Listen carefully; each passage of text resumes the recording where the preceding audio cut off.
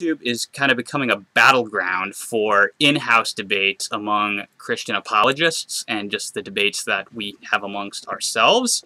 And among those debates would be uh, the debate over the proper way in which we ought to approach religious epistemology uh, you know, under just what circumstances is it that our beliefs in general and our religious beliefs in particular are appropriately held? Uh, when are they rational?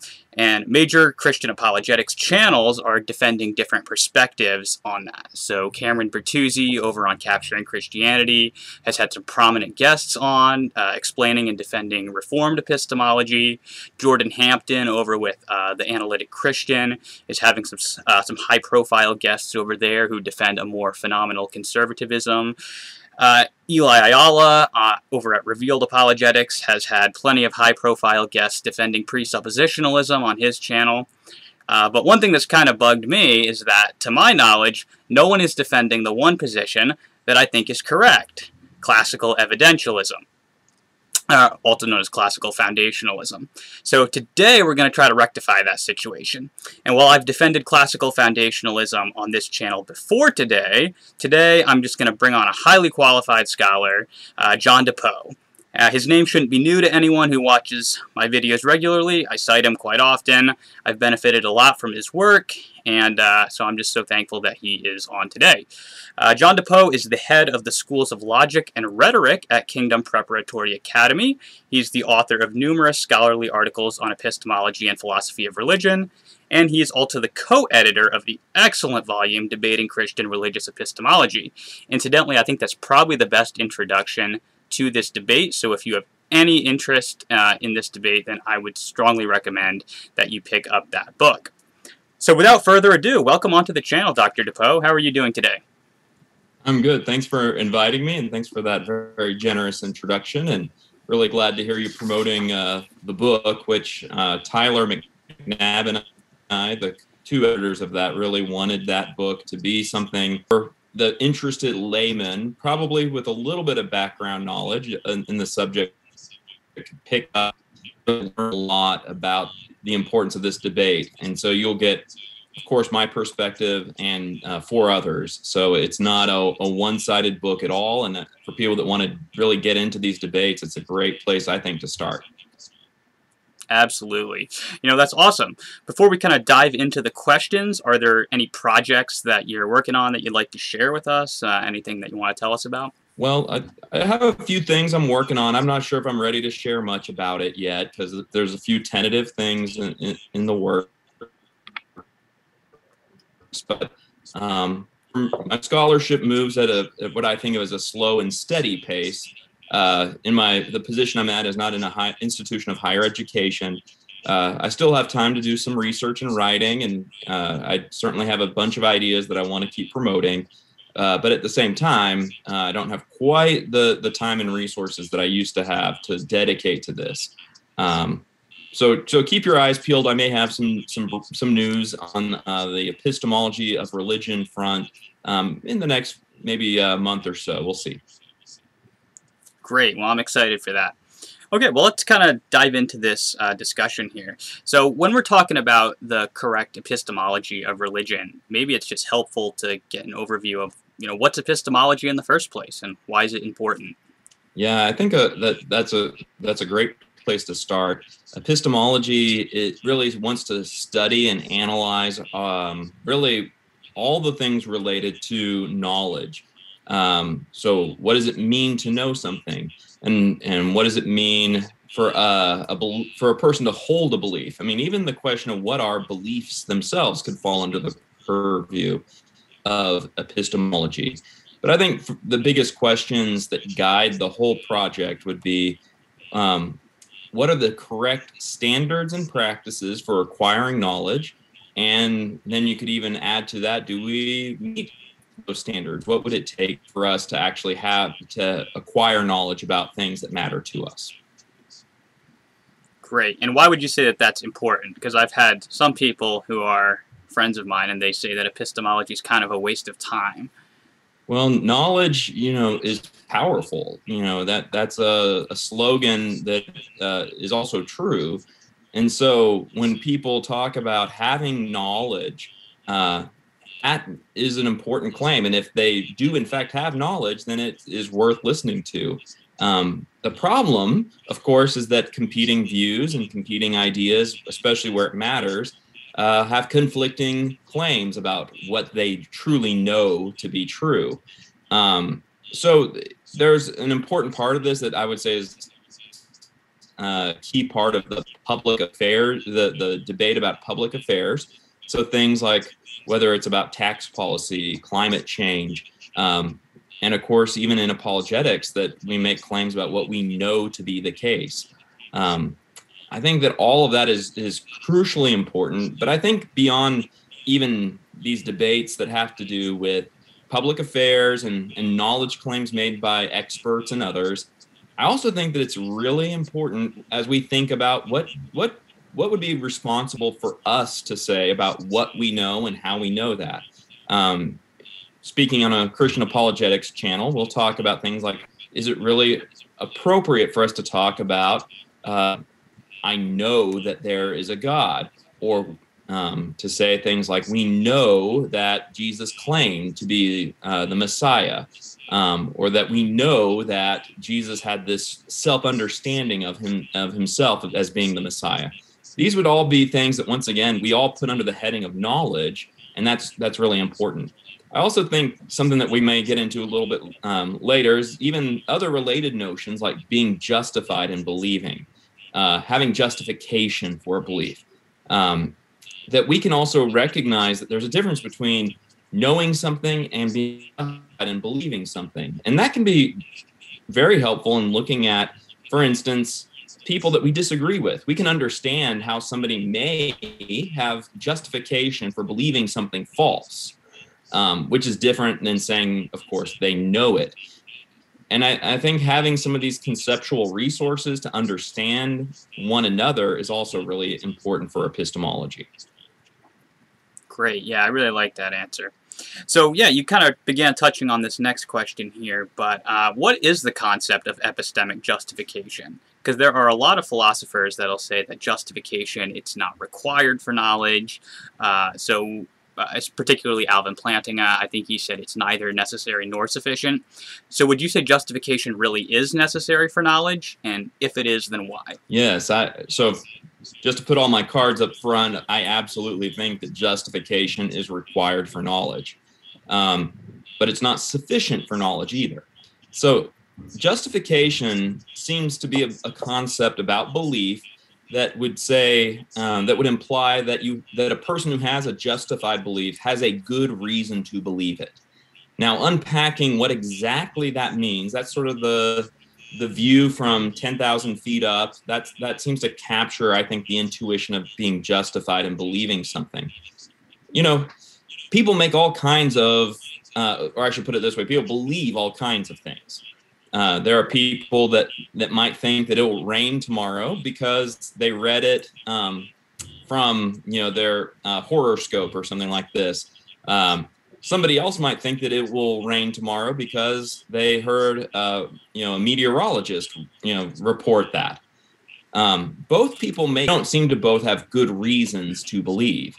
So I think that having a good reason to believe would be closer, of course, to the meteorologist, uh, basing your belief on a meteorologist who says um, it's going to rain because he has a he, he's an expert in a field of knowledge that is connected to making those kinds of claims accurately or with at least some degree of accuracy. Um, whereas somebody who thinks that it'll rain tomorrow, perhaps because uh, uh, they read it in their horoscope or they you know went to a fortune teller and they had a tarot card reading that somehow said it would rain tomorrow. Those practices seem to have no connection whatsoever to the reality of whether it will rain or not tomorrow. And so, even when the horoscope or the tarot cards happen to land on true beliefs, those seem to just be by accident. Those just seem to be random. And when the meteorologist is wrong about the weather, um, it's not that um, his whole discipline and studies and, and, tools that he used to predict the weather are, are completely disconnected from truth. It's just they're not infallible, that they have a fallible connection to truth. And so we seem to value, in many cases, just being justified in believing much more than just having true beliefs. Um, I think that a lot of times we would want to be, we would want to hone the tools that help us as individuals to be justified in in believing things, as opposed to just you know being lucky individuals who just happen to pick up true beliefs. Um, another way in which I think to, to come around to the bigger question about how this is related to knowledge, um, I think to claim to know something and, the, and to claim to be justified in believing something, those are, are concepts that seem to say that individual is in a position to have something beyond just a hunch or a lucky guess or um, just a, a random belief, that that belief has a higher status. Now, that higher status is, I think, having a connection to truth in some way. And so I think that what you have with um, what you have here is uh, why why does knowledge require justification? Because it seems like for an individual to know something, they need to have some basis for that belief. It can't just be um, a stray, arbitrary, you know, disconnected, random kind of belief. So, a couple of thought experiments that can probably explain that a lot better than what I just did.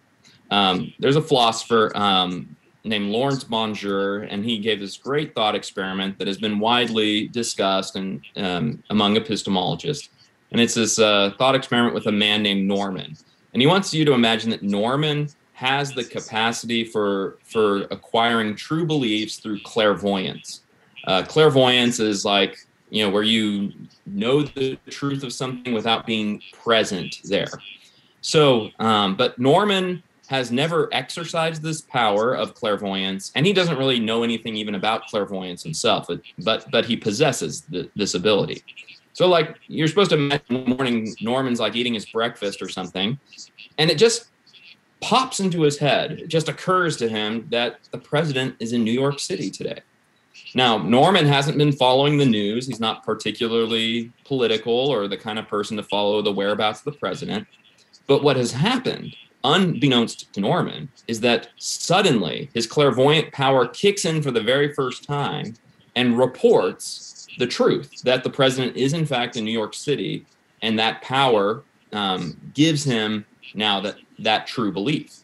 So the question that uh, BonJour pitches to the audience is, well, does he does he know it? Does he is he justified in believing that the president is in New York City? And most, in fact, I would say everybody who encounters the thought experiment wants to say, no, he doesn't know it. He, he he's not justified in believing that. Uh, what what's going what he's missing is some awareness of why the president is in New York City. Like there's no basis, there's no underlying reason he has to think that the president is actually there. Um, what would and one way to think about all that is to say what would be the difference between that belief being caused by this um, clairvoyant power and being true, and what would be the difference between that and him just, you know, having some kind of random belief pop into his head, but through some kind of uh, arbitrary causal conditions that are completely disconnected from the truth, he wouldn't know the difference. It would look the exact same to him. So um, it seems like what's missing is something that would tell Norman well, from my perspective, this belief has something more going for it in the truth category than just a stray hunch. And one more thought experiment is uh, one from Keith Lehrer, and he has this great event that he calls Mr. True Temp.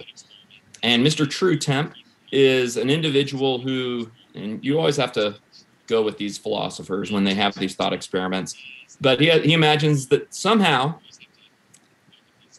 uh, Mr. True Temp had somebody implant a device in his head, and he has no idea this this ever took place.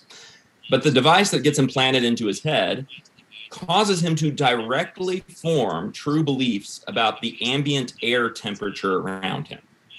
So, um, let's say the day after the surgery is over, and he once again has no idea that there was a surgery and how they, you know, these these tricksters who pull this off are really good. Um, he's walking around and it just occurs to him. He has no reason, he has no basis or reason or understanding why. It just occurs to him, huh, it's 74.5 degrees in this room. Does he know that it's 74.5 degrees in the room? once again, I think the intuition for most of us say, well, he doesn't know it. Um, at least not the, the first time. He could probably come to have knowledge of this if, let's say, he starts taking notes each time and he realizes he's got this great track record and he's getting it 100% right all the time. Maybe then you can start talking about him having a reason now to trust this uh, belief forming mechanism. But right now, he has no idea that he's that he has this device in his head. It just seems once again just like a stray hunch or a random happening. And for that reason, most of us are inclined to say, yeah, that that doesn't seem to count as knowledge. Knowledge requires something more. And so the way that I've articulated this in some of uh, my writings is to say that knowledge requires justification, and justification requires at least two kinds of conditions. One of those is a subjective condition, which I, I would say the condition says that whatever else justification is, it needs to be something from the subject's perspective that helps them to see what that belief has going for it.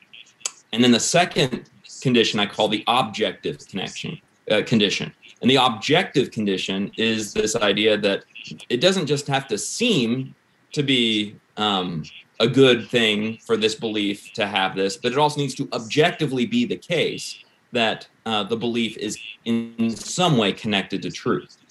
And that might be in a very strong way, what we would call logical entailment, um, or it could be in a, in a weaker way, I think. It could even include things like uh, probabilistic connections and, and some things along those lines.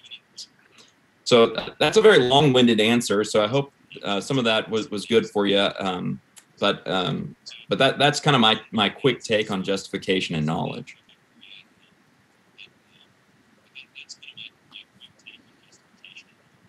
No, that's great. I love it. I, have always kind of just felt like to throw away the justification condition on knowledge is to sort of throw away the thing that yeah, the, motivates real fast on, on, on this. I think that one me. of the big so I, I really appreciate that things that people uh, have so, done is there have been some.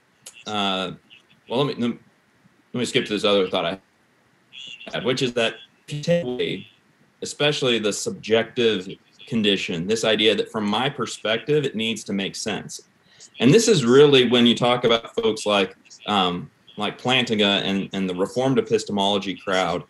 Um, one of the things that happens when you say that it doesn't have to make sense from my perspective is suddenly now epistemology is being done from a perspective that is not yours. And I've always found it to be a very unhelpful way to do epistemology because I don't get to practice epistemology from the third person point of view. I have to practice it from my point of view.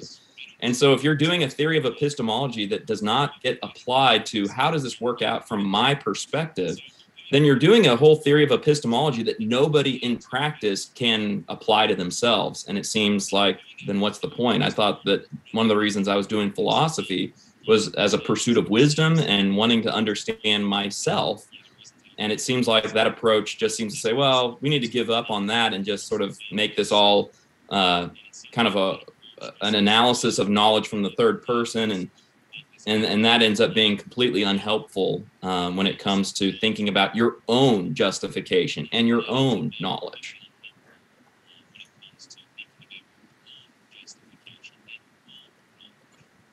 Yeah, yeah, I agree. I think Plantinga has even gone as far as to say God himself can't do it from the first person perspective, and that seems very strange to me. Uh, so yeah, when we're talking about justification, then there are these different well, there's something called the structure of justification, and people kind of talk about, well, what is it that justification looks like? And you've got these different kind of visual models. I don't know if you want to briefly go through those, but I know basically you're going to hold to a type yeah. of foundationalism. Well, foundationalism is so, you know, tell us maybe what that is and why we should And if you've got my view, it's also then the approach to knowledge where there are basically two kinds of beliefs structurally. There are those that you would say are non inferential, and then there are inferential beliefs. And non inferential beliefs are those that would make up, so to speak, the foundation. And those non inferential beliefs then uh, would be the basis by which you infer inferential beliefs. And so, um, one, one feature of foundationalism is that there are no circular there's no circular justification. So um, it's a you could put it this way that justification is one way. This is for a first layer of inferred beliefs then that layer of inferred, inferred beliefs could be the basis for a second layer of inferred beliefs, but you can't then have the second layer be a basis for the first again. Um, it would be that would create a loop, and so um, circular reasoning is something most foundationalists are very, uh, very much against.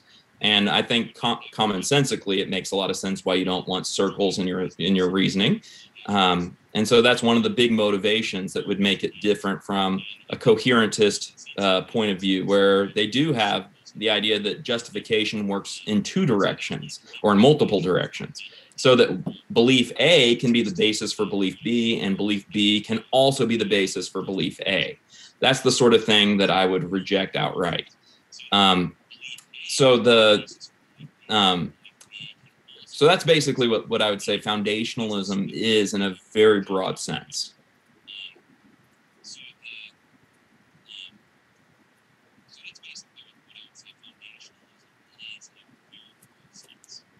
Great. Yeah. I, I always thought that like a rejection of circular reasoning just kind of comes from this underlying intuition that we ought not just be assuming that our beliefs yeah, are true. I so think that's that kind of the you could say that there. Um, what few- would you say might be the different reason ways to why we should this. be Um, one of them i think is actually just experiential um, there are beliefs that that i have that i i i am justified in believing but it doesn't seem like i'm basing that on any other belief so the kinds of examples that we kind of pull out that tend to be pretty safe are like examples of, of being in pain. You know if i'm having a, a searing pain uh, experience and then i believe that i'm in pain it's hard to find another belief that is the basis for that. I mean, if I'm sitting in front of a mirror and I'm like screaming in pain and wincing, and if I were to say, well, I, I believe that I'm in pain because I'm observing my own behavior, and people who tend to wince and cry out in pain tend to be in pain, I just say that's just comical, right? To think that you're inferring your own pain by your pain behavior. Um, it just seems like a belief like this just you know is foundational that there's no other belief it is based on it's non-inferential in that sense um, so experience seems to confirm foundationalism in many instances. Um, I'd also say that it's uh, there's a what you might call a conceptual regress argument for foundationalism, and a, and this is different from another regress argument that's often used. But the idea behind a conceptual regress is that you can't keep if you want to have a definition of justification. It seems like you can't define one justified belief by just saying, well, that comes from another justified belief. And then where does that justification comes from? Well, that comes from the justification of another belief. At some point, you need to have introductory level justification. And so if we have this idea, if if justification itself were always defined in terms of being justified through other beliefs, it seems like we would actually never arrive at a basic understanding of what justification itself is. And so, since we, I would say, since we do have an idea of what justification is, and since uh, it doesn't seem to go on conceptually forever, it we need to have a starting point for justification.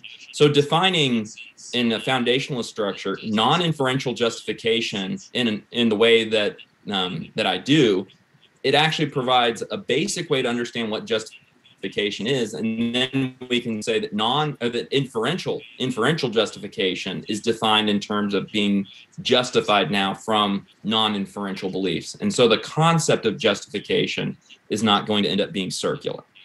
Um, and then finally real the the other one that is often brought out is this idea of the the regress argument it seems like the options on the regress argument make it such that if we have any knowledge or any justification whatsoever, you got to have foundational beliefs. Uh, the options seem to be that the the regress is stopped um, in an arbitrary way. Um, the idea is that it goes on the that a regress goes on infinitely in a line. Another idea is that it goes on infinitely in a circle. And so the the best option is this idea that the regress is stopped in a non-arbitrary way. And so this idea of what I mean by a regress is just this idea of let's say um, how do the way how, how do you know that? So um, let's say uh, I want to uh, uh, that I believe that um, you know the the San Antonio Spurs, my favorite team, are n- not going to win the NBA championship this year, I could spout off some reasons um, for that, and then some know that, and then I'd spout off more reasons. I know those reasons, and then you just keep. The question is, how long could that questioning go on? And so, if it goes on and it stops just at some arbitrary point, some baseless point, then it would seem like everything it was built upon would also be baseless. So that seems like a bad option. If it went on infinitely in a line, um, that doesn't seem to work either um, for a few reasons. One is um, we don't have that many beliefs that the infinite if it took an infinite number of beliefs to justify um, one belief we don't have the ability to have that many beliefs. And we cert- may not have the ability to comprehend all those beliefs and we certainly don't seem to have the ability to beliefs the one. So there, there seem to be a lot of problems with going that route. If it's going to be an infinite number of beliefs but um, in a circle or infinite number of reasons, but the in, the infinity is not created by an infinite number of beliefs, but but just by going in a circle and repeating, then we fall into circular reasoning. That doesn't seem to help us. So it seems like the best way to stop this regress of reasons is to say that at some point you reach a, a stopping point, and that stopping point is not arbitrary, but a properly justified place to stop. That then is a good foundation for all the other reasons to stand upon.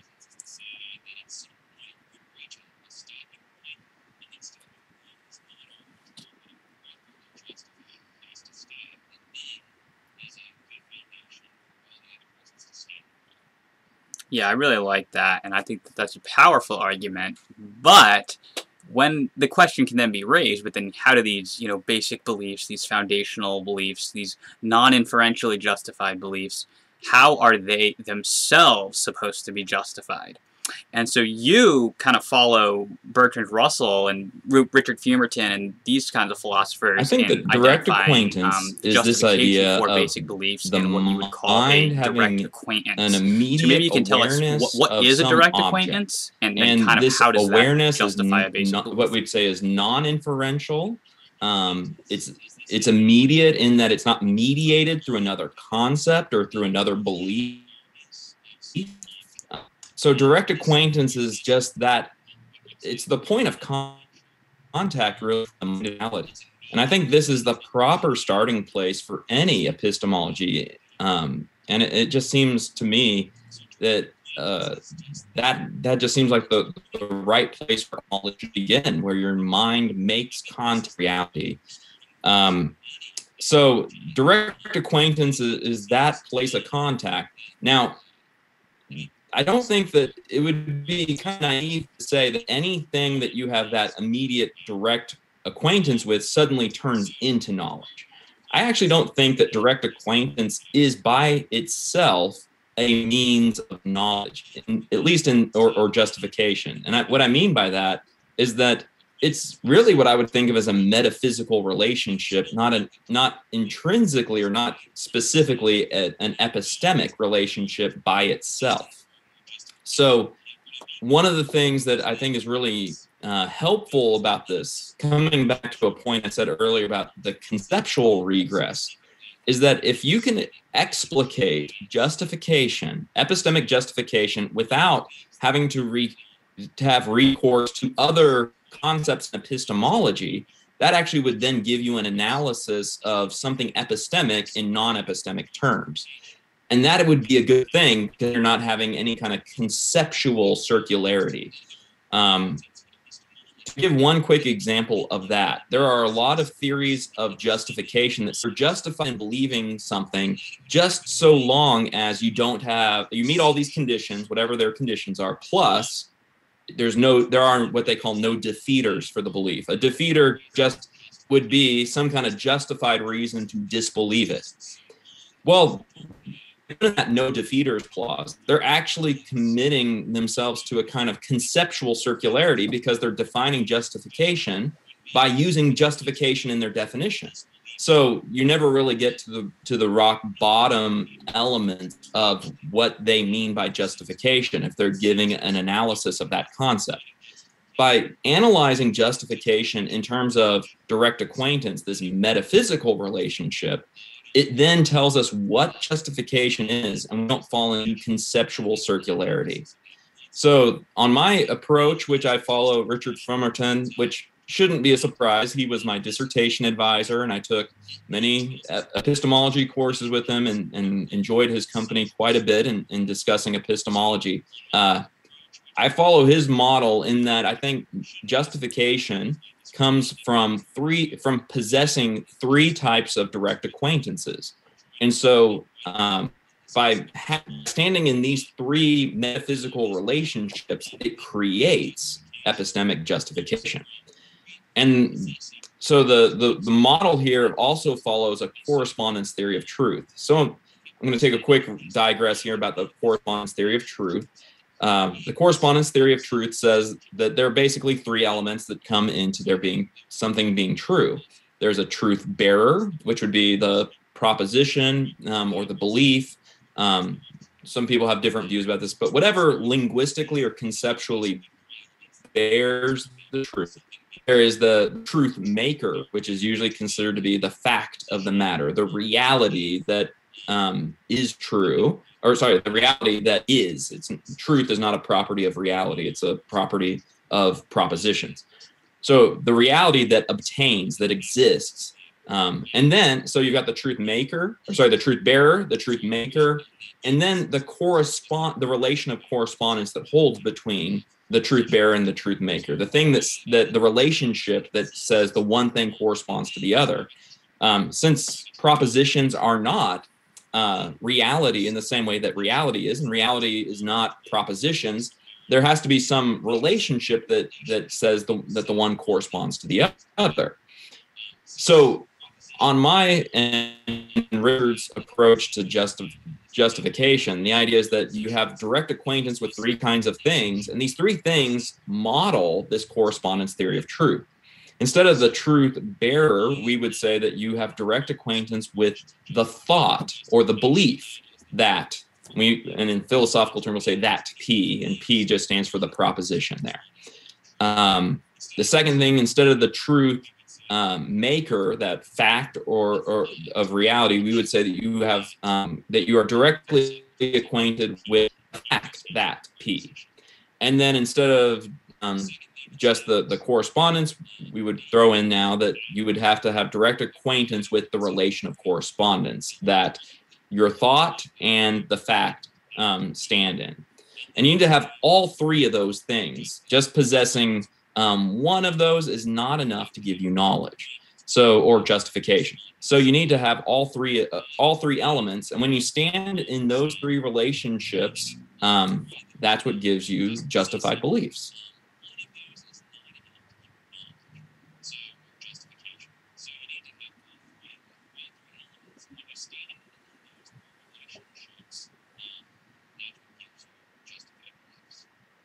Yeah, I like that, and it's so it's easy to see why that would give you justification for the belief because that's just that's everything that makes your belief true. It, it's it all right the, there. The, this you know, idea, the objective so I, and subjective criteria I mentioned earlier, that satisfied the beautifully in this, and that's what I also so find really so attractive about um, this view model is that it, it's in so many different views of epistemic justification. First, they don't satisfy. Often, they don't satisfy both criteria. Some have this subjective awareness but lack a kind of objective connection to truth.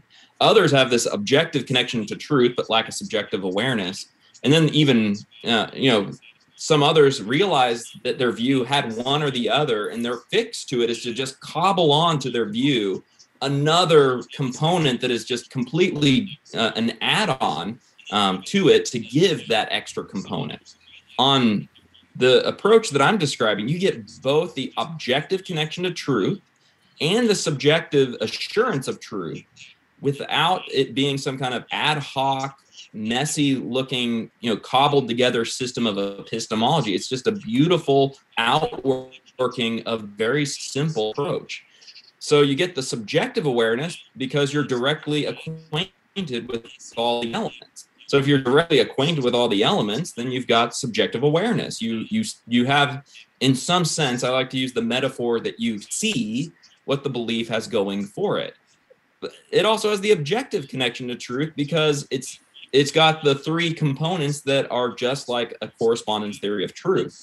And uh, so if it's got the three elements that that would mirror a correspondence theory of truth, it's got something going on. You know, it, it satisfies the structure that would be once again in the category of truth, as opposed to just being a hunch or a random uh, guess or um, feeling good about the belief.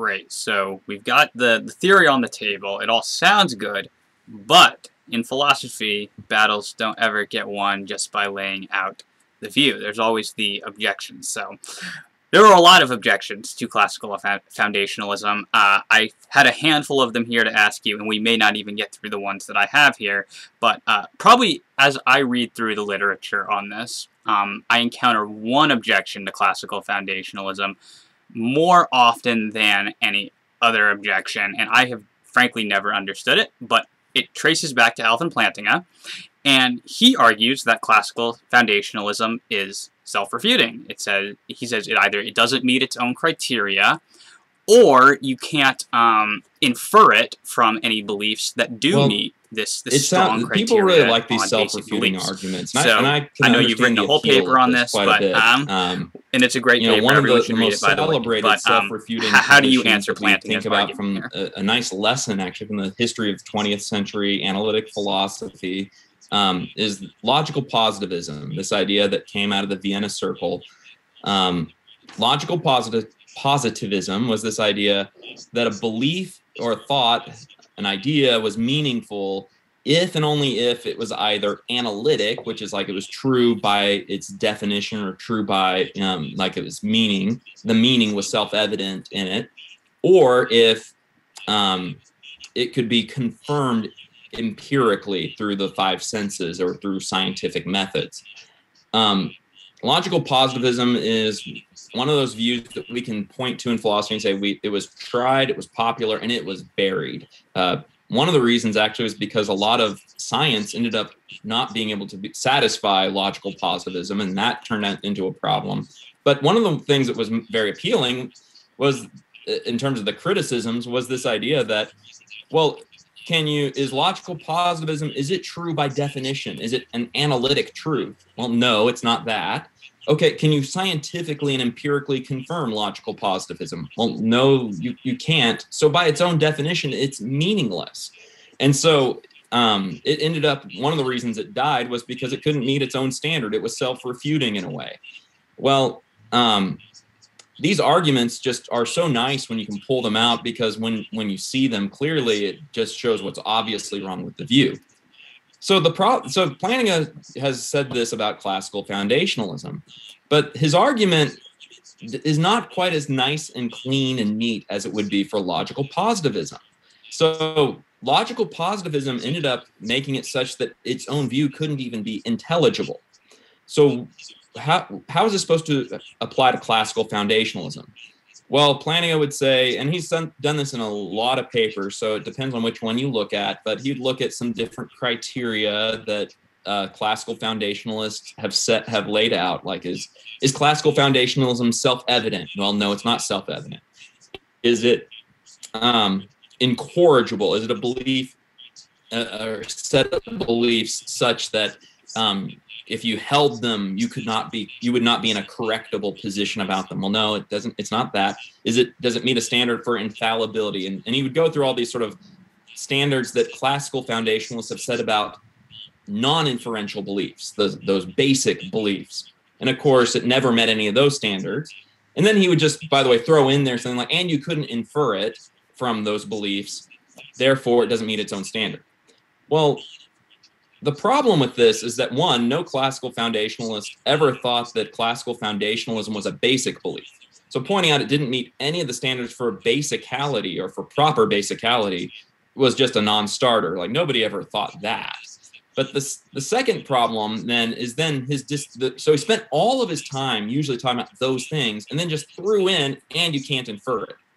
Well, that's where classical foundationalists would say, "Whoa, let's pump the brakes there, buddy." Um, what do you mean you can't infer it? Um, this has been arguably the most dominant view in, in epistemology from Western civilization. when you read St. Augustine in, his book Against the Academicians, he refutes them in a way that is very clearly a classical foundationalist structure. Um, so you see this in St. Augustine, you see this in people like John Locke. Um, I would even argue that you see this in, in the work of C.S. Lewis, that this is this is the structure of epistemology that was kind of accepted by in general something like classical foundation foundationalism was accepted with some variation among all these different folks they all have very different reasons and arguments for the that justify the theory itself and I wouldn't just point to historical figures, but uh, the, the theory itself is alive and well today um, by some of the, the most influential epistemologists that are still out there, not just my dissertation advisor, Richard Fumerton. Uh, Laurence BonJour uh, has been very influential in promoting this after leaving coherentism to adopt more of a classical foundationalist structure. Um, Timothy and Lydia McGrew have written some excellent work on this. Um, and uh, and there are many others that I could just keep going and going. Uh, the point is that you know you can't just dismiss and say and this is how the argument would go in Plantinga's papers is he would say I can't see any reason why it's true therefore there must not be any good reasons for why it's true well if that counts as a good argument then we could say we, we could write this for every paper you know I could just say atheism is false because I can't see any good reasons for atheism therefore atheism is false I would, I don't think many atheists would find that very convincing. And so classical foundationalists were not very impressed that Plantinga just said, well, I'm not convinced by any of their reasons, so their reasons must not be any good. Well, please explain. We'd like you to unpack that and we could engage that a little more deeply then.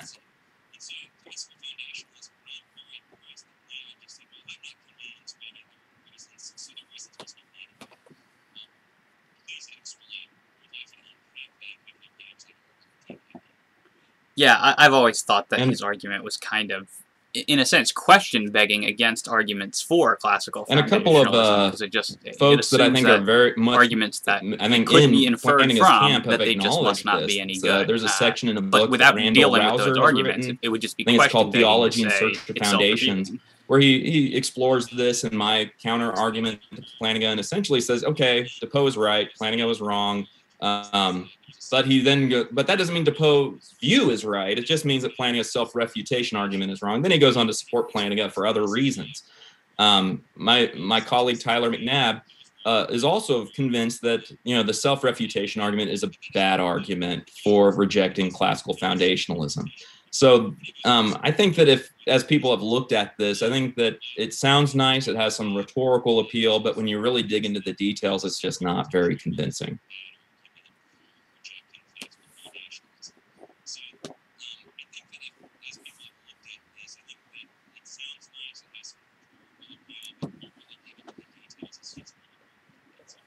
Yeah, self-refutation arguments are easy to dish out, but they're also usually pretty easy to answer in my experience.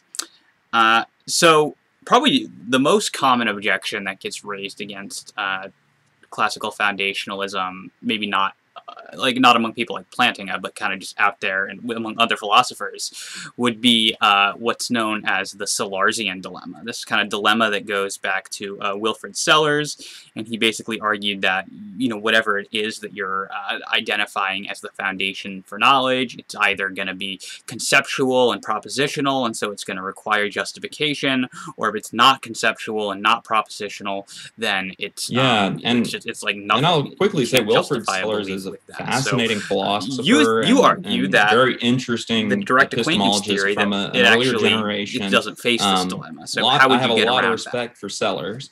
Uh, with that said, um, I do think this argument can be met. Um, so the, as you said, the dilemma is, is that what do you do with those non-inferentially justified beliefs? Where do they get their justification?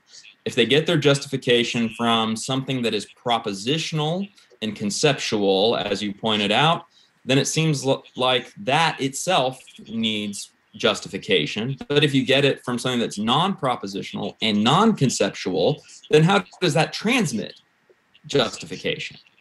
The, the answer on, on the approach that I take is to take that second horn of the dilemma and to show how you can get prop how you can get justification from something that is itself non-propositional and non-conceptual and that just is pointing out that that's another motivation for why i think direct acquaintance in itself is not epistemic in its nature. It is just a metaphysical relationship. It's just a relation between the mind and its immediate object of awareness. And so by st- so that's how you actually generate justification out of something that is non-conceptual and non-propositional by being directly acquainted with those three different things directly acquainted with the the basic belief being directly acquainted with the reality or the fact that um, it corresponds to and then being directly acquainted with the relation corresponding to belief and the fact or the reality that it, that it um, represents. And so um, the direct acquaintances themselves are non-conceptual, they are non-propositional, but it seems like when you understand that that layout that you can see how they can confer justification. So it's a nice get the dilemma by get justification out of a series of, of relations that are non-propositional and non-conceptual in their nature.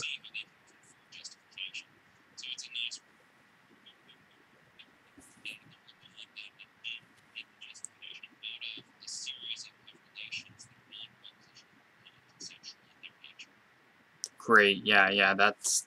I think that that. I think you're right. I think that's the perfect way of uh, avoiding the dilemma. So basically, the upshot is just that being acquainted with something isn't the same as having the the corresponding belief. You just you're having the acquaintance with it, and so that's why it's capable of uh, conferring the justification.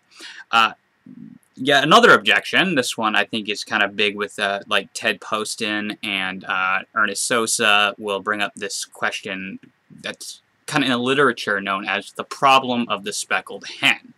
And the idea here seems to be uh, that you can be directly acquainted with complicated facts. So like uh, maybe maybe like your bookshelf over there.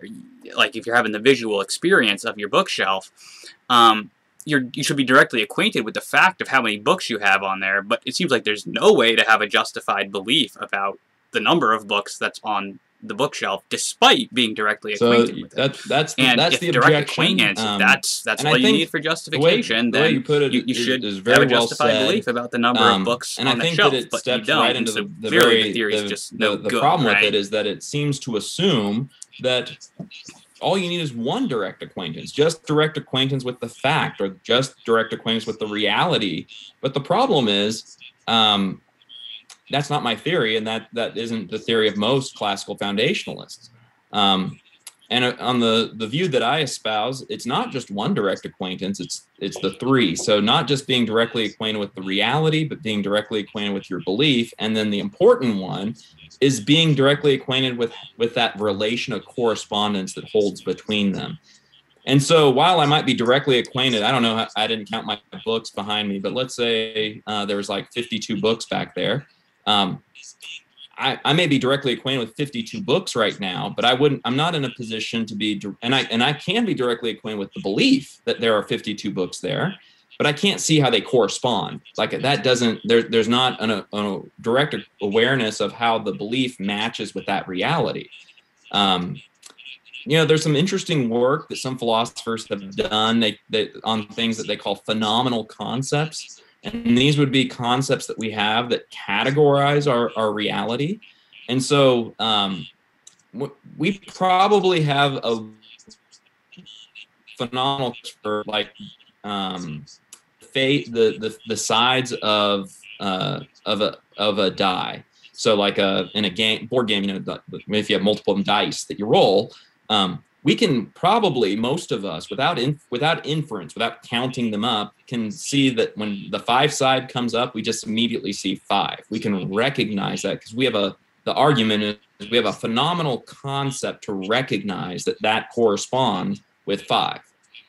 Um, most of us don't have the ability to have a phenomenal concept of corresponding with large numbers of diverse things. One interesting idea is that maybe you know if if people the savants that are in uh, that have been characterized in movies and, and books um, like of mice and men or or uh, rain man or things like this maybe what's going on when they can when somebody like drops like a, a container of paper clips and they can and, and they can immediately infer that there are like 103 paper clips there or something like that maybe they actually have this ability to recognize that correspondence between them we can only form you know these we we, we have direct contact with that visual experience of, of that reality but what we don't have direct acquaintance with is how that corresponds to any belief and so once again, maybe these savants, maybe they just have this uncanny, un, you know, unusual ability to see the correspondence between those kinds of experiences and a propositional belief in a way the rest of us can't. So I think that's what what's going on in the speckled hen case is just that most of us just don't have that ability to see the correspondence between uh, a propositional belief and the re- reality that we are directly acquainted with when it gets that complicated and complex.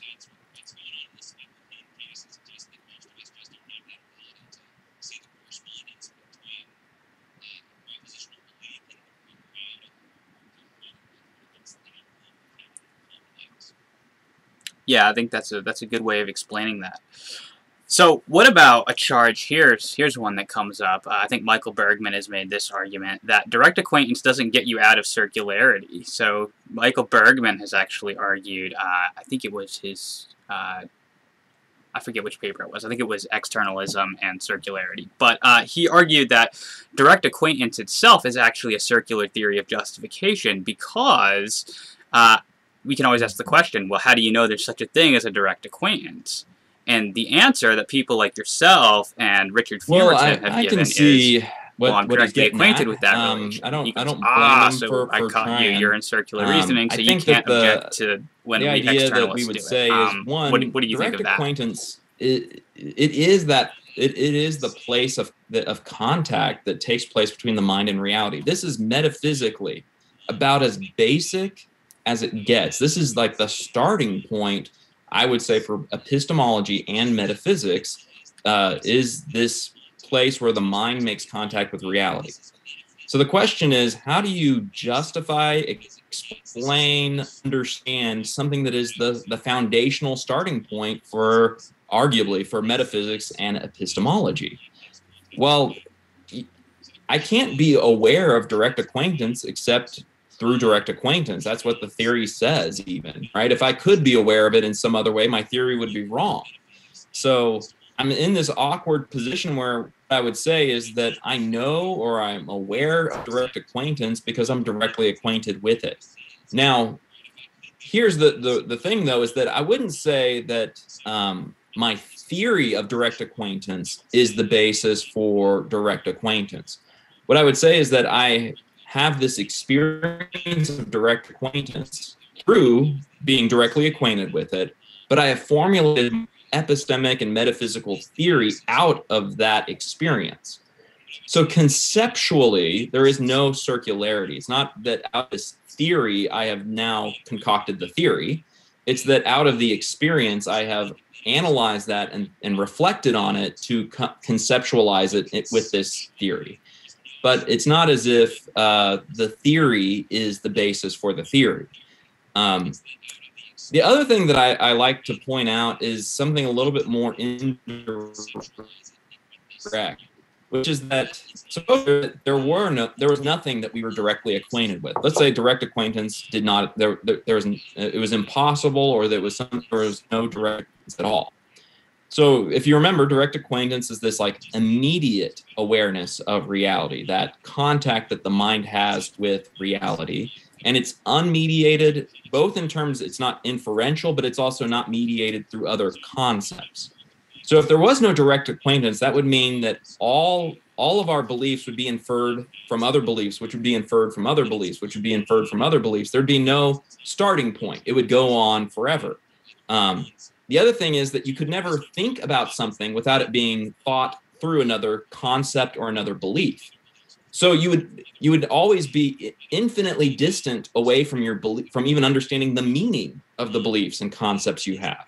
So what I would say is that since we do have thoughts that we understand, that we have um, there is meaning that we comprehend in thought, it must it must take there must be some way that we have um, some immediate awareness of something. Otherwise if all beliefs were mediated through other beliefs then even that belief would be mediated through another and that would be mediated th- through another and that would just go on forever in a way that would put us infinitely distant from everything we believe. And since we're not infinitely distant from the meaning of all of our beliefs, and since we're not infinitely inferring our all of our beliefs from other beliefs, it seems to follow that we've got some immediate, non-inferential, um, not conceptually loaded um, awareness of something, and that, my friends, is what we call direct acquaintance.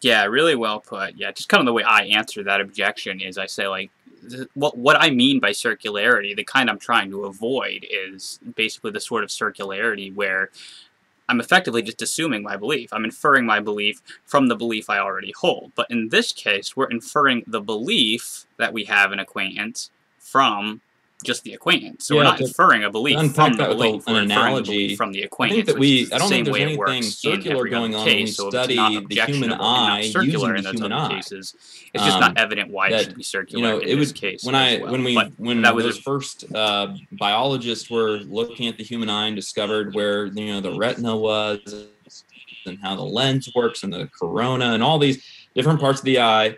Um, and they were using their very eyes to see it it wasn't like there's some kind of circular reasoning going on. They were just using their eyes to understand what was going on in their own eyes. And this is the same thing I think. I think that's a good analogy with direct acquaintance is that yes, I'm directly acquainted with direct acquaintance, but I'm using direct acquaintance to arrive at the theory of direct acquaintance, but it's not as if I used the theory of direct acquaintance to arrive at the theory of direct acquaintance.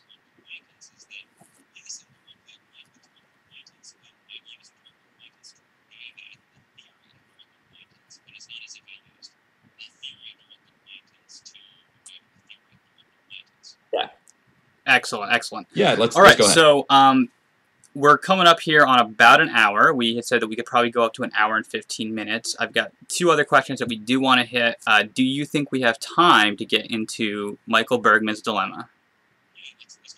All right, so Michael Bergmann, in his book Justification Without Awareness, spends the first half of the book developing this formidable dilemma for an internalist epistemology. And, you know, he's got extensive interactions with Fumerton and Fales and McGrew. And um, so, I mean, I, I, give him a thumbs up for interacting so with our best voices. Kind of where we started but, our um, conversation by saying that maybe you want to present sense, what is that dilemma, and then you've written a really good paper responding to that dilemma. About so, justification. You know, what is his dilemma, is and then justification how do you get out requires uh, the the subject's what he calls the subject's perspective uh, he, he says that it has this objection to externalism called the subject's perspective objection.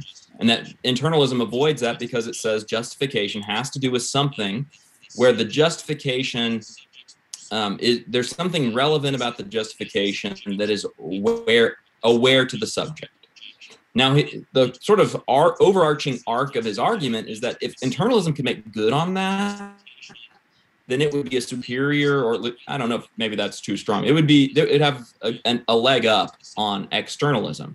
So his point is to say that nobody can satisfy the subject's perspective um, objection, that the subject's perspective actually implodes on itself. And so it's a, it, it seems like a, there's something to it, but when you really follow up on it, he thinks it's, it's going to fall apart.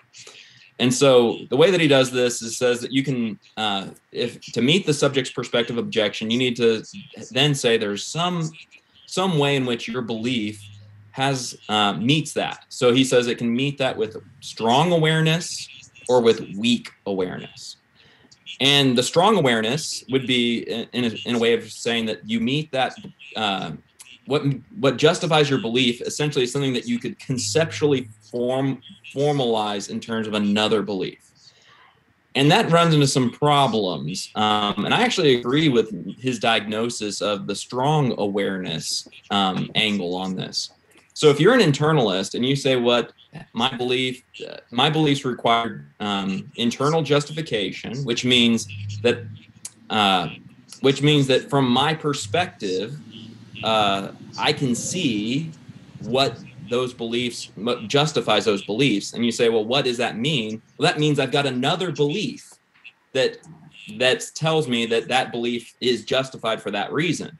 But then you're going to see that this leads to a regress because now you have belief. Well, how do you justify that one? Well, I've got to see that that belief is has a good reason that justifies it. And it just seems to to go on. And and the reason why you can't escape this one quite like the Sellarsian one is because it seems like you this just what he calls a justification contributor, whatever it is that makes the belief have the feature that overcomes the subject's perspective always seems to have to be conceptualized as another belief. So you start going down this route, it seems like you can't stop it. And it's even worse because as you try to explain all this, it actually it makes the each belief compli- more and more complicated. So if you say it gets I'll try not to use quite the same jargon, but it, it's, it's still pretty messy. So if you say like, well, belief one is justified because I believe that it has belief two as a part of it. And then you say, well, and then you have to say belief two is justified because of belief three. But each one of these things is nested inside the other. And so you end up with a belief not just of infinite size, but also infinite complexity. And uh, you just can't meet that. So the other side of that is what you would call weak awareness, or what he calls weak awareness. And weak awareness then is where you try to stop that just that uh, that chain of of justifying reasons for to answer the subject's perspective without conceptualizing it as a belief and doing it in, in a term in some kind of way that is less than full-blown belief and direct acquaintance would be, I think, the best way, of course, to answer this. That, uh, the, and, and so um, I think that then the answer to this is very similar to uh, a problem that you get. There's a, a, paper that Lewis Carroll, the author of Alice in Wonderland, um, he wrote the, some of these fascinating logical puzzles and, and epistemic puzzle papers, and he wrote this one about Achilles and the tortoise.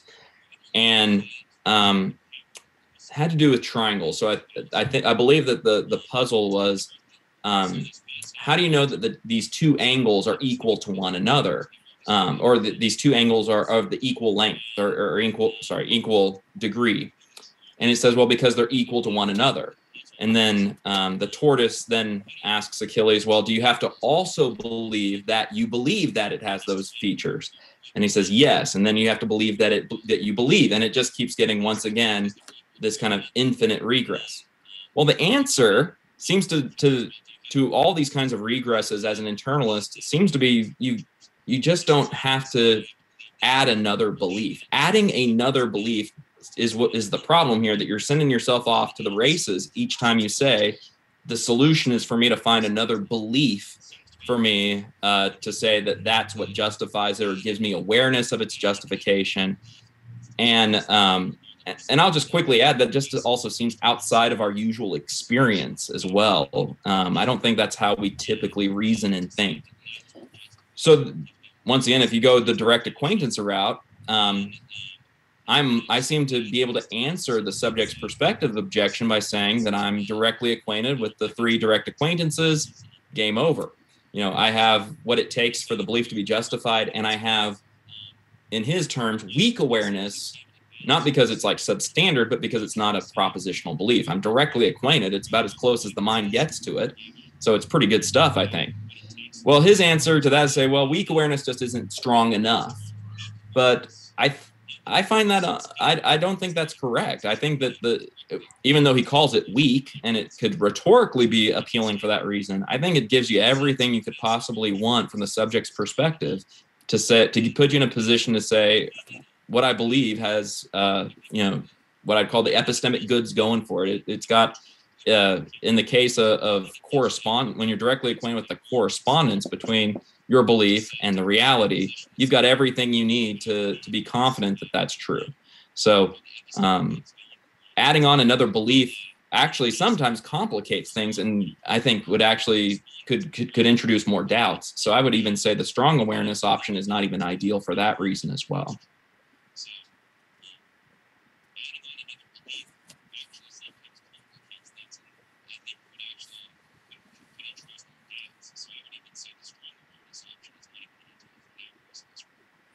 Yeah, yeah, I like that. I think Bergmann's whole argument kind of hinges on this unargued point that it's possible for somebody to have all three of those direct acquaintances, but then can just have this cognitive malfunction so that he can't um, he can't see that uh, the acquaintances justify his belief, and he he never argues for that assumption. And so I think you know you're right to just you know reject it. Yeah, and that, that's exactly right. With the correspondence, it's it almost how, falls back how to is it that a cognitive malfunction is gonna where it almost seems like what he must prevent you from seeing that the belief is justified without somehow destroying like, the acquaintance. I really just have you directly acquainted with the one thing, but my the, the view isn't one direct acquaintance but all three and when you have direct acquaintance with correspondence with the correspondence relation it seems really hard to see how you could be directly acquainted with that and somehow be you know in a place of like some kind of like radical cognitive dissonance where you don't see you're not even in a position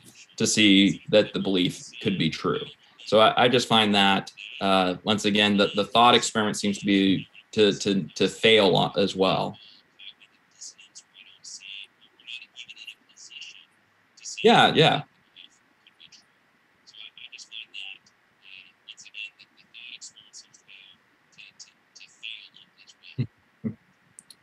Excellent.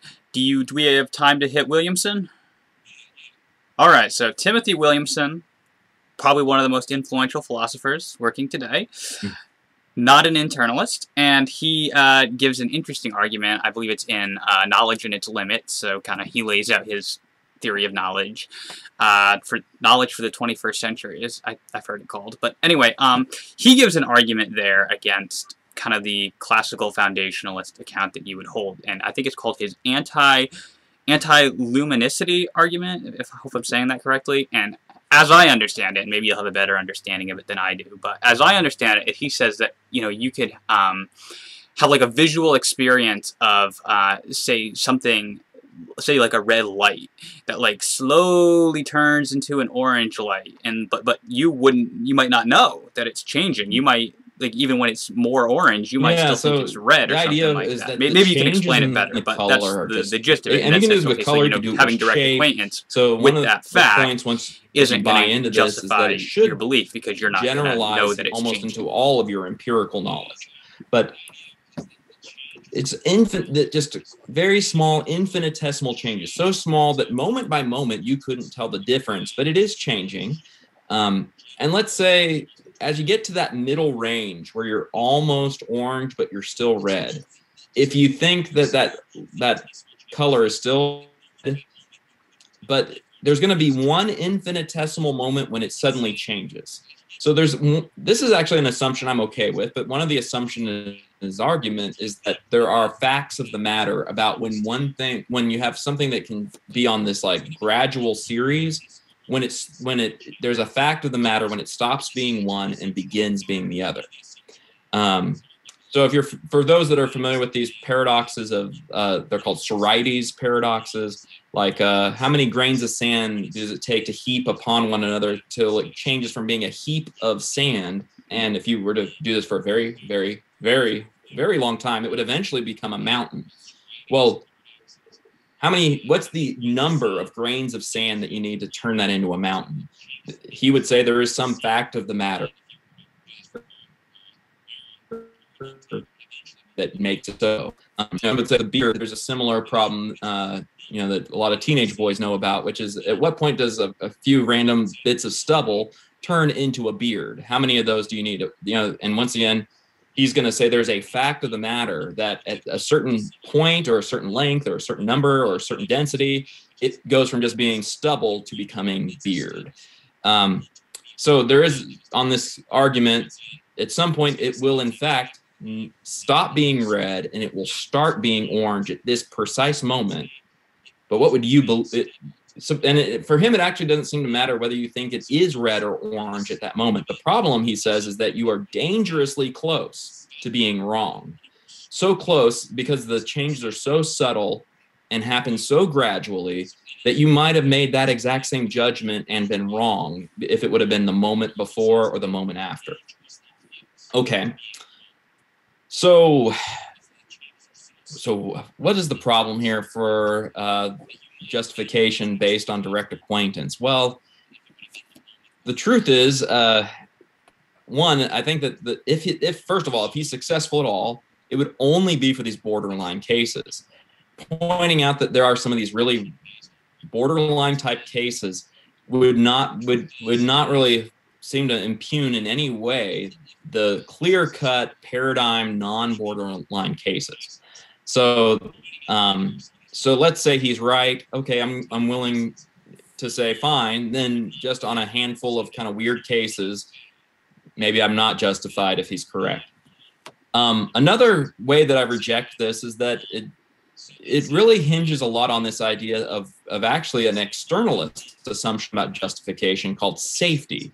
And safety is, is often a, a condition of justification that externalists put in that say your belief is justified if it's safe, by which they mean if the circumstance these circumstances are such that um, you would continue to believe this even um, you believe it if it was true and the circumstances change slightly or you would believe it if it was false when the circumstances change and it's false.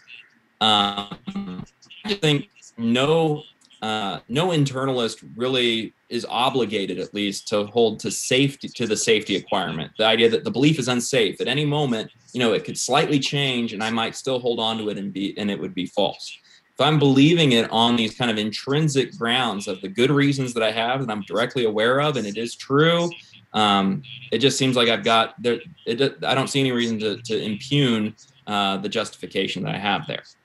Um, so I mean, I think those are some pretty big reasons, but I would also say how many of us are going to continue to, to hold these these beliefs in this way? I mean, we also apply other kinds of concepts to these things, like the concept of reddish orange.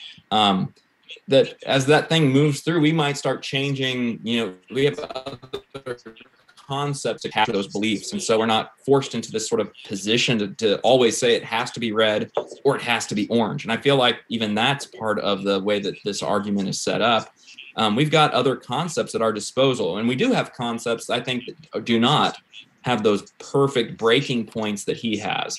Like, um, you know, at this exact point, it goes from being a heap into a mountain or a bunch of stubble into a beard that we've got ideas like reddish orange that bleed over into both categories because we are directly acquainted with these experiences and we're aware of the fact that these things do in fact uh, kind of get into this vaguer um, middle area. So um, so i find that if there's any merit to the argument at all it really has very limited scope but i'm also inclined to reject uh, most of it anyway. Um, you know i don't really know what uh, what really stands of it when we start really looking at how we're we're, we're forming our beliefs and, and in those circumstances.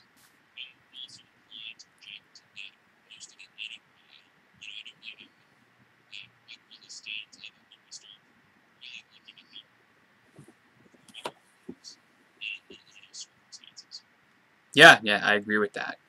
Uh, okay, so then kind of maybe transitioning a little bit towards uh, religious epistemology, uh, maybe you've established that this is a good theory of epistemic justification, right? satisfies your subjective and your objective connection to reality, connection to truth there. Uh, so kind of what are the implications then for adopting this epistemology for our religious beliefs? Because, you know, there's a lot of concern out there that we've got really stringent, really tight um, conditions on basic beliefs. And so, uh, I, like I think Andrew Moon said uh, once that he doesn't think that there's any way to get to beliefs about God, beliefs about the truth of Christianity, just going on direct acquaintances. Uh, and so this really seems to be a concern for a lot of people. I had somebody block me on Facebook just because I said that I didn't believe that uh, you could have a properly basic belief that God exists. Uh, and I don't think I was nasty about it either, Right. but like So this is a big deal to some so the, people. the They view ends up being there's a as a type of to get to evidentialism. God. Um, and evidentialism then is this idea that your religious beliefs So Um, what are the they are to be implications, and then justified how or, can we get count as knowledge need to be based on good reasons, on some evidence. Um, and this is, of course, a very unpopular view. Um, and I, I think that that though uh, the other, I often think the other way of looking at this though is really unpalatable if we really think about this. Uh, so for those that think that belief in God can be properly basic, it's this idea that you that you know fill that in and, and for Plantinga and for many Christians, it's not just bare theism, but like Trinitarian, Christian, evangelical, biblical theology. All these things are built into properly basic. So, and what they're saying is you you are justified in believing these things, but without any reason whatsoever. You are not you are not aware of any good reasons for holding it. It is just the starting point. Um, so I find that fairly difficult. It's this seems precisely like the kind of belief that the the set of beliefs that should have good reasons behind them. And and of course, I am an evangelical Christian. I think that there are, in fact, very good reasons for uh, believing the tenets of, of theology and the the truths of the Bible and, and about the Bible that I hold to. Um, I don't take those to be properly basic. I take those to be inferred from the evidence. Now, uh, so so that's the first thing I want to say is that we wouldn't when, we encounter people from other religions, for instance. Uh, once again, speaking to my brethren that are other Christians here, we wouldn't we don't allow them to just say that their beliefs are properly basic. Uh, in fact, our what we try to do is quickly get them to think about: Do you really have good reasons to think that Book of Mormon was inspired, or that uh, you know Islam is true, or that Hinduism and you know gives you enlightenment? Like these are all things that that we would say, man, why would you believe that without good reason? It's these seem like just the sorts of things you need reasons to believe. And what's good for the goose is good for the gander. And um, I think that Christianity makes just the sorts of claims that need evidence to be justified. But I also sincerely and, and genuinely believe that that Christianity has the goods to say we've got good evidence for making those claims and that these are justified beliefs. Indeed, they I believe they arrive to the standard of knowledge.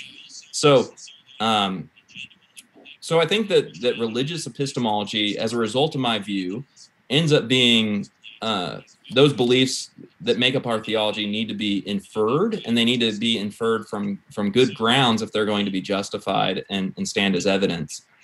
Uh, and I think this makes a lot of sense too, because for the most part, well, when we get to our distinctive religious beliefs, uh, they actually don't arrive just out of nowhere as a basic belief. They actually uh, come from somewhere. And whether we read our Bibles and found them, well, if you got, if you arrived at this belief by reading, then you were relying upon sense perception and sense experiences, which means that actually your knowledge of the Bible was not basic, but inferred from those experiences. If uh, you have a particular brand of theology or, or a particular school of theology that, that you say is properly basic, well, you actually didn't start off with those beliefs, but those beliefs were acquired once again through other epistemic routes, maybe through being taught and listening and seeing. Um, once again, relying upon other epistemic uh, modes of believing for for acquiring those beliefs. So it would just once again seem like that these things really are not the gra- at the ground level. As pious as it sounds to say, belief in God is properly basic. Uh, it's really not the sort of thing that that when you really think about it seems at all properly basic. Uh, it seems like the kind of belief that we arrive at through um, a series of inferences and other sources and, and reliance upon other uh, other uh, epistemic uh, epistemic practices and, and methods. So, um, yeah, to me, as, as as unpious as it may sound when put up against its contenders, it does have the ring of truth to it when you start to really think about what it means to say that uh, our religious beliefs, that Christianity is not properly basic, that it is inferred.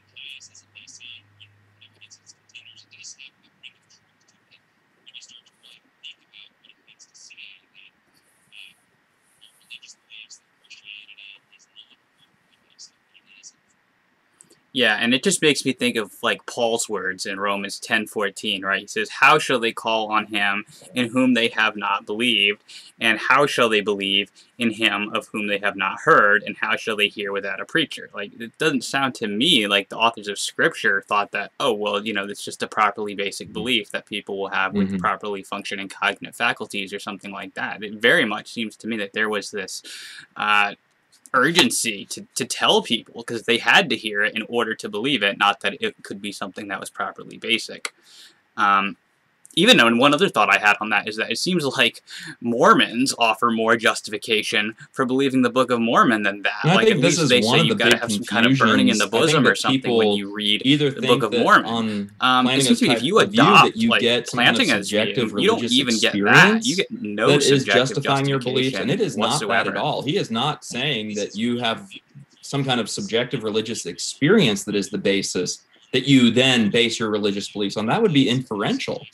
He is saying something much more like Norman the clairvoyant that I talked about earlier, where it just pops into your head suddenly.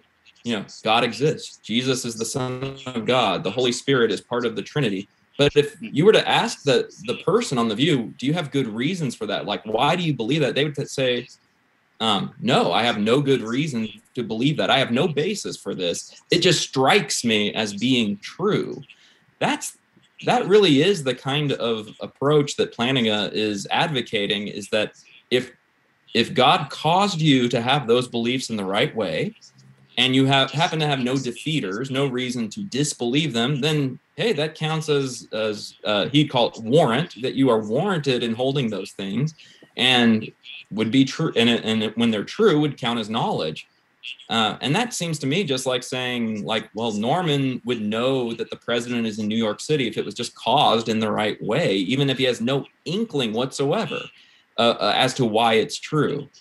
Um, and a really telling thing, and you can get this online for free. The the there's a an online great online resource for uh, actually older Christian texts called the Christian Classic Ethereal Library, I believe. I think it's ccel.org, maybe. But uh, Alvin Plantinga's Warranted Christian Belief is on there um, for free. Like, I think he purchased the copyright um, and it is on there legally and for free.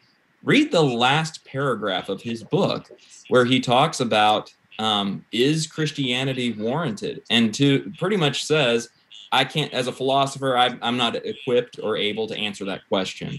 Um, you know, it feels like it is to me, but that's not me speaking as a philosopher. It's just me, you know, speaking as a, you know, as a Christian and as a person.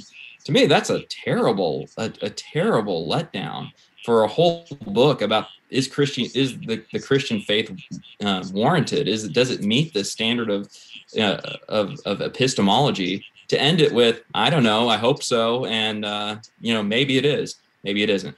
So uh, it does not the way that i like to put this doesn't give you blessed assurance. Um, it, it says if all these conditions are met and we can't know if they're met by the way but if they were all met and our beliefs were produced by god in just this right way well then it's good.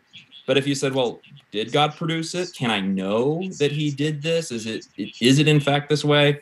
I don't know. We, we're nobody can know. We're, we're never in a position to, do, to tell that. And to me uh, that's just terribly dissatisfying. And if I were trying to find, uh, if I were assessing my own religious views, and that was the best I could say, I would say that it's a it's a big letdown in trying to assess are my own religious beliefs warranted or justified or knowledge. You, you just are not in a position to say.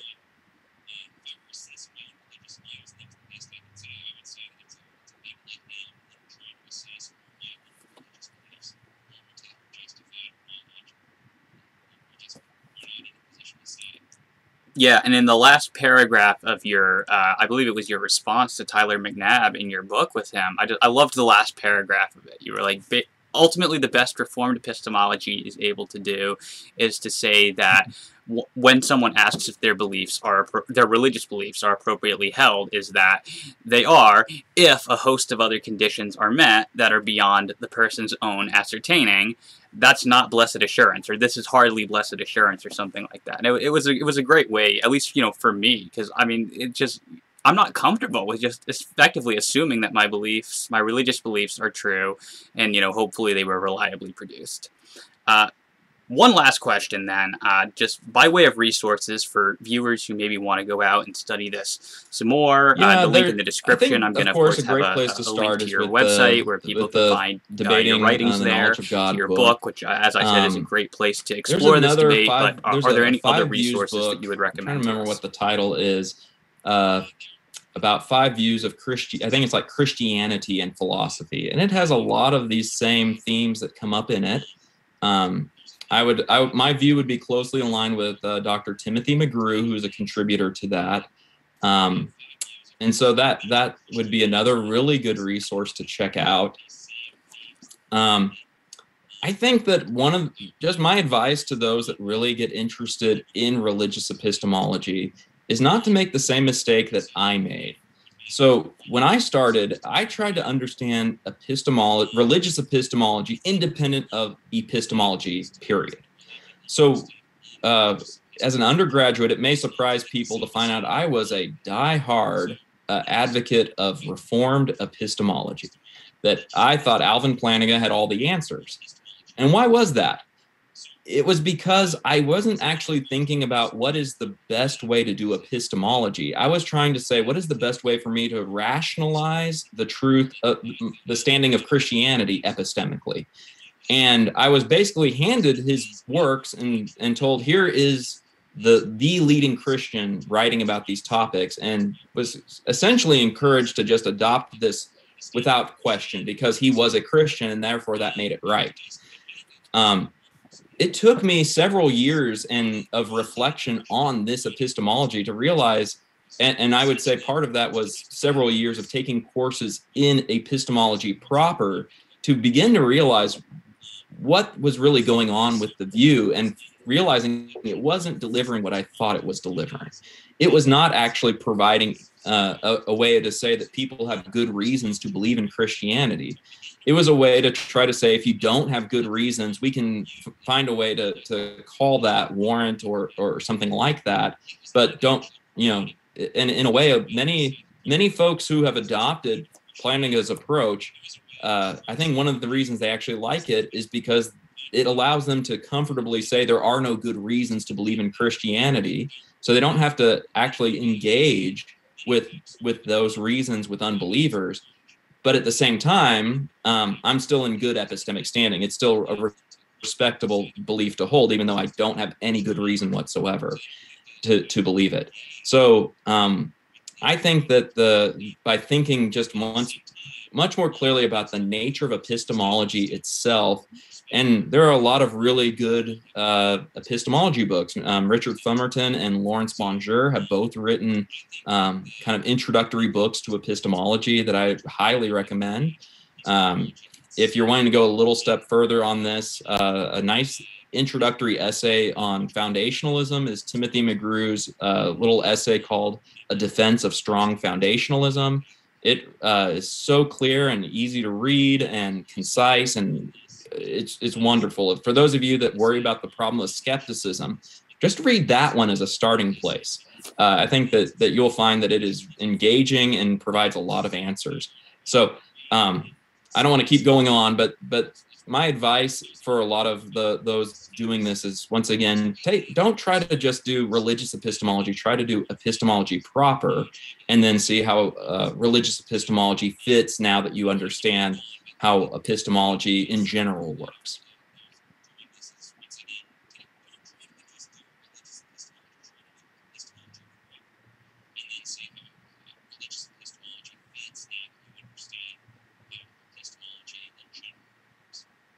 Yeah, and I can't agree with that more strongly. My understanding of epistemology, religious epistemology, was just enhanced by growing my knowledge of epistemology in general. Yeah, thanks for Uh, having Dr. me. DePoe, I thank you so it. I much hope for. uh, I didn't bore uh, everyone you know, I know death. went a little bit over, Uh, but thank you so much I've, for I've giving been told us, from my uh, you know, students time. that I'm Uh, quite, my voice is really is quite a good, good at putting people to interview. Uh, sleep, your so I answers were very appreciate those clear. made it to Uh, the end. just thank you so much for coming on.